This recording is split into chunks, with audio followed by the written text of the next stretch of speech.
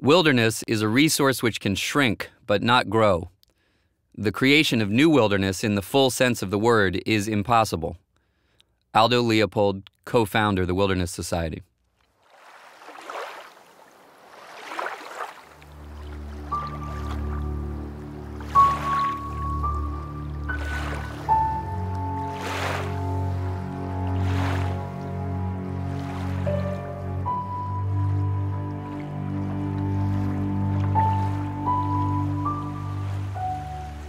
Wilderness means escape to me. Wilderness means the opportunity to slow down, to relax, to see the world through a different lens. It is one of the few things left in the world that can bring human beings back into an understanding of where they fit into the whole. I think my daughter once said uh, the, the exciting thing uh, about the wilderness for her is that it's dangerous. I'm from Tennessee, and it's neat for me to recognize that the origins of the Wilderness Society are in Tennessee. Actually, four forestry related guys, uh, Bob Marshall being the principal one, who were going to a forestry conference in Norris, Tennessee. They got agitated about the way in which the Forest Service was managing wild places in 1934. They pulled off by the side of the road and sat down and wrote out the charter for the Wilderness Society.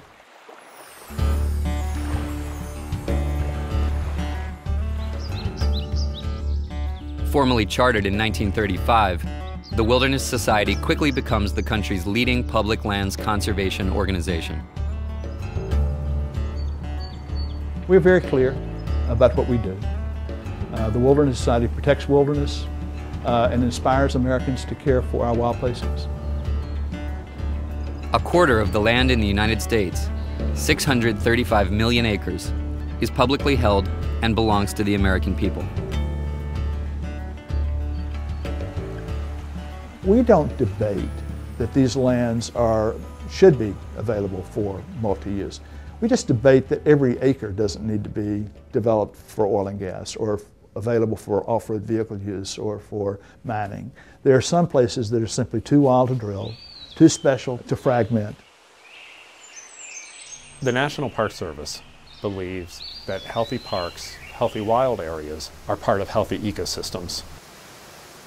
The Wilderness Society has been effective at creating forum and venues to bring economic interests, government entities, uh, nonprofit organizations together to find common ground so that we can have um, a, a sustainable future and preserve these places for future generations.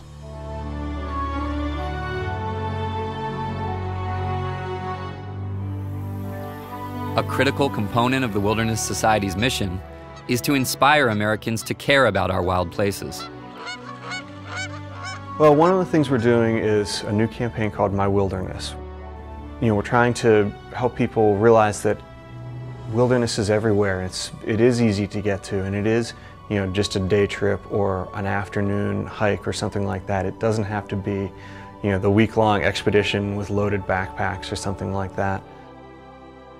My Wilderness is, is our way of, of trying to let people tell their personal stories about what wilderness means to them. I think it's a really critical time for or organizations that, that steward wild places to look at how they're connected to young people, and particularly to urban young people and to um, young people from communities of color.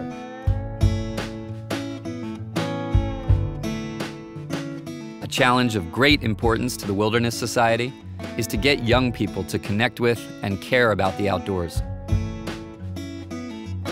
We did a great program last summer uh, where we linked up with the YMCA and with uh, a few additional resources teamed up with the Y to take uh, some kids from inner city DC out on the Appalachian Trail. And we'd, we'd started off on the first day and we're climbing up uh, a hill and we get to the top and there's, there's an overlook. And there's a lot of graffiti on the rocks and some trash over on the side. And when I first saw it, I was incredibly disappointed because, you know, here's these kids' first, you know, vista experience on the Appalachian Trail and, and it's ruined by this trash and graffiti and, and they didn't see any of it. They were able to look past the, the minor deficiencies and the things that can be cleaned up and really see the, the natural splendor for what it was.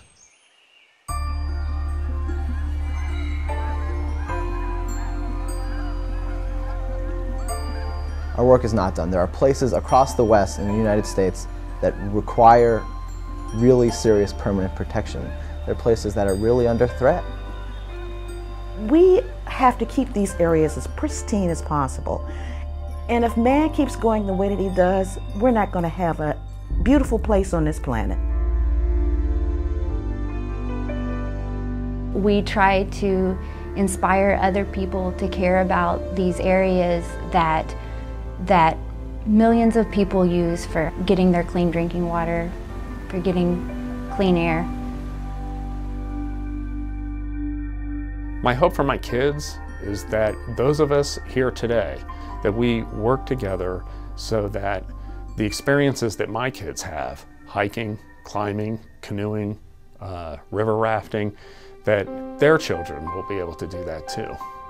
You know, I, I grew up in the West. I was born in Texas and I was raised in California and Arizona. And I feel so lucky to be connected to those places. And um, I also feel a responsibility, um, not only because I want those places to be around for future generations, for my kids and, and so on, but also because um, in those places I can find a piece of myself, a piece of my history, um, because I know that those lands contain the story of who I am.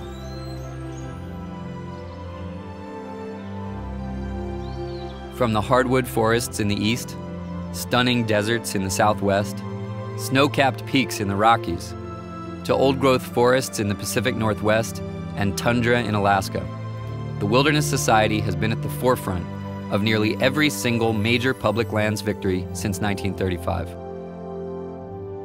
As Howard Zahniser, the former executive secretary of the Wilderness Society and the author of the landmark Wilderness Act of 1964, states, we are not fighting progress, we are making it. We are not dealing with a vanishing wilderness, we are working for a wilderness forever.